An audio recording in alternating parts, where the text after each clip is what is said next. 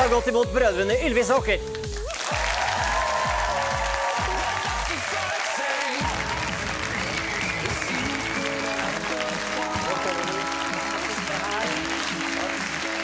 Vi har gjort i stand til dere. Ja, tusen takk. Altså, Sist dere var her eh, i studio, så eh, var det var noe sånn ti millioner som hadde sett The Fox, tror jeg. Og det var jo fantastisk, og det var jo et fenomen, og vi snakket om dette her også. Ja. Nå er det vel 450 millioner cirka, som har sett det. Mm -hmm. eh, Likevel et fenomen. ja, men dere, ja, absolutt et fenomen. Og, og, og, og dere er jo blitt verdensstjerner, men dere er jo verdensstjerner i revedrakt. Ja, altså, Det er en slags føler, er jo, deal at man må ha på seg revedrakten for å være verdensstjerne. det er jo sangen eh, som er blitt en verdensstjerne foreløpig, da. Men, eh, men vi hadde jo noen sånne opplevelser. Vi var bl.a. På, eh, på MTV Awards i Amsterdam. Og da var det sånn at vi gikk jo rundt som hvermannsen, og alle andre var stjerner. Vi kunne spasere akkurat sånn som vi ville, og gikk forbi masse folk. Men idet vi tok på oss de revedraktene, så ble det jo helt eh, Texas. Som jo var veldig gøy, for da kan du ha en sånn passelig distanse til det. Og da var da vi liksom snakket om det at man kan liksom unzip the stardom. For Du kunne liksom bare zup, vut, ta av drakten, og så var det ingen som kjente oss igjen. Det var forferdelig behagelig. Du eh, er eh, Altså, det, en ting er Europa, og så er det Amerika, men så er det også Asia. Eh, man føler at de har en annen kjendiskultur, eller at det å være stjerne i Asia er nesten enda Altså, man blir behandlet enda mer som en stjerne. Man blir liksom hauset veldig opp der nede. Eh, får liksom inntrykk av at, eh, at, at det å være berømt skal være bra og populært for alle. Da, kan du si. og, og når vi var der nede, så fikk vi jo helt syk eh, bra behandling. Altså, De tok godt vare på oss, og blant annet så hadde vi sånn fire biler alltid som de kjørte rundt i. Vi var jo bare fem stykker. Så vi, vi, og vi er jo norske og skandinaver litt sånn nedpå, så vi valgte jo den store vennen, for der kunne vi sitte og snakke sammen alle sammen.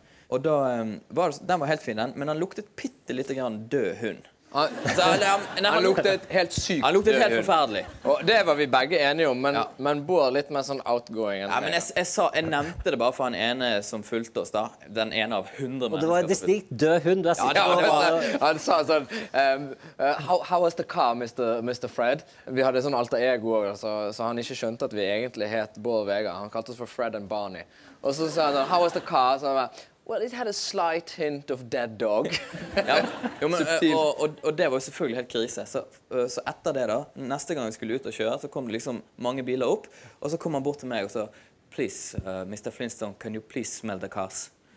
Og så måtte, jeg, så måtte jeg gå fra bil til bil og lukte på alle bilene og ta den som jeg likte best. Og det, fra, fra det punktet og ut resten av reisen i Asia, så måtte jeg lukte på bilene før vi kunne kjøre. Som fikk jo meg til å føle meg som verdens største douche. Iallfall når de kaller deg Mr. Flintstone. Mr. Flintstone. Du, eh, det, det er altså, dere har jo fått eh, opptre med fantastiske artister. må jeg si. Dere har vært med på forskjellige sånne konserter hvor det har vært flere artister. Elton John og, og Stevie Wonder og Miley Cyrus, eh, tror jeg. Ja. Eh, har, dere fått liksom Justin Timberlake? Var det? Aldri spilt med Justin Vi, vi, vi fikk jo faktisk vi, vi spilte i Las Vegas. Det var noe av det første som skjedde. Faktisk Samme dagen som vi var på Ellen Show. Og så, um, så spilte vi i Las Vegas dagen etterpå. Og, um, og så skulle den festivalen vare over to dager. Så ringte de fra Ellen-redaksjonen og spurte oss om eh, vi kunne bli igjen en dag i Las Vegas for å intervjue to stykker.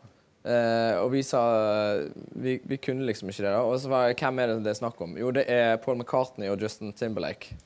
Gidder dere å intervjue dem? Og så sa vi nei, vi kan ikke fordi vi må hjem fordi vi skal intervjue Ingrid Olava hjemme. Som er en kjent norsk Som er en artist. kjent eh, norsk artist. Men likevel. Ja, Men jeg tror egentlig det hadde sikkert blitt litt kleint med at vi skulle sitte der med Paul McCartney. Sånn, så han visste ikke hvem vi var. Vi kunne ikke sitte i revedrakt. Så det er en bedre historie sånn som det er nå, da. Kan du si. Men når, når man har 450 eh, YouTube-hits, da, så det er 450 millioner mener jeg, som har sett den på YouTube, eh, hvor eh, blir man veldig rik av det? Nei, man blir dessverre ikke det. Eh, eller man, eh, Dette er jo egentlig noe som vi vanligvis ikke snakker så veldig mye om penger og sånn, så det, sånn men, men akkurat i dette tilfellet så har jo liksom Dette er jo ikke noe vi har gjort med vilje, egentlig. sant? Å å entre på en måte platebransjen og YouTube-bransjen, hvis man kan si det sånn. Men Men vi har jo på en måte fått litt øynene opp for og blitt litt deprimerte på, på vegne av de som faktisk er plateartister. da som, som, bruker dette som hovedinntektskilde. Platebransjen er jo det mest uoversiktlige i verden. Så det er vi mest rotete vi noen gang ja, det er så rotete, og vi aner ikke hva Det er ikke sånn at dere får en, bare en sjekk fra YouTube en gang iblant? Jo, det får man sikkert, men så skal det innom liksom 300 ledd. Og i Asia, bare for å ta Asia, så er det jo sånn når vi ringer og spør, liksom, ikke vi, men når våre mennesker ringer til Asia og sier uh, how, how much have we sold, or how much Oh, please don't ask question. Very uncomfortable question. We don't know. so, yeah, how many records? Oh, it's very, it's a lot of stores and very, very.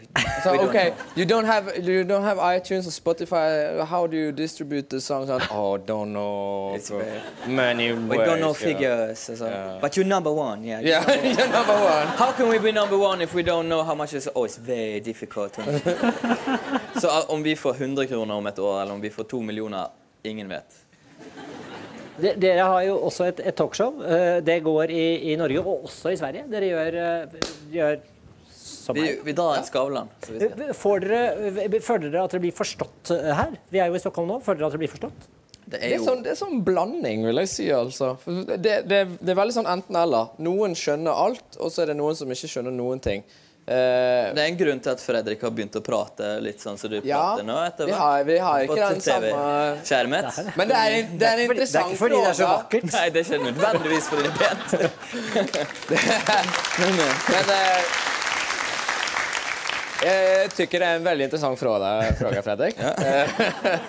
og eh, vi hadde jo en opplevelse i går som var ganske spesiell, må man få lov til å si. Ja, ja. Vi kom hit og skulle liksom på vår, nesten vår første svenske presserunde. da, Og hadde fått eh, intervju med Aftonbladet. Og så setter vi oss ned og så sier hei, hei, ja, jeg heter ditt og datt. Sånn. Ja, men jeg, jeg måtte bare si jeg forstår ikke, jeg forstår ikke norsk, så kan vi ta det på engelsk? Og vi bare Ja, det går jo fint, det. er liksom. Vi sa sånn Vi kan snakke sakte. Og... Vi kan snakke sakte. Ja, men vi tar det på engelsk. Tar det på engelsk. Jeg, jeg, jeg, har forsøkt innan, og det, det blir Men det, det som var ekstra kult, da, var at han, han, gjorde det jo på engelsk, men fotografen han var sånn Du, jeg prater bare engelsk. Kan, vi ta, kan jeg prate svensk? Så var det sånn, ja, så vi snakket svensk med fotografen. da Og så kan jeg stå der stelle? Sånn, ja, det går fint, det. OK, så how did Så, men det er jo, altså, svenskene har jo ikke hatt norsk barne-TV sånn som vi har hatt svensk barne-TV, så det er jo forståelig. Ja, ja, og så er det, det er jo enda litt kunst. Det, det, er jo også mye kulere for oss å komme hit og, og late som det faktisk er virkelig utlandet utlandet, da. Forsøk nå å holde den fine svorsken deres, for nå skal vi få inn en svensk gjest. Urkule jente, det. det er Bare hold den. Ja, det er um det er eh, en, en, eh, en, fighter, en veldig kjent eh, såkalt MMA-fighter. som kommer Er dere i, i, opptatt av fighting, eller er det noe Mindre og mindre. Det, men, men, men det, det jeg har fått vite, er at dere syr. Ja. Opptatt av å sy? Ja. Nei, opptatt av å sy, er det ikke, men vi har jo nevnt at vi syr et sted. så da blir jo det... Men syr dere ting sammen, eller syr dere hva, hva er... Altså, Vi syr ting sammen, det er jo det man gjør når man jo, syr. Jo, men dere to, holder dere på med stort broderi? Eller vi hva? gjør jo veldig få ting sammen. Ja, altså Sying har et ufortjent feminint rykte. Fordi en symaskin den har jo en motor og en pedal. Og hvis man liksom syr med litt sånn svart tråd, så er det jo Jævla hvilken korsning det er! Every kind of night Except one. It's so hard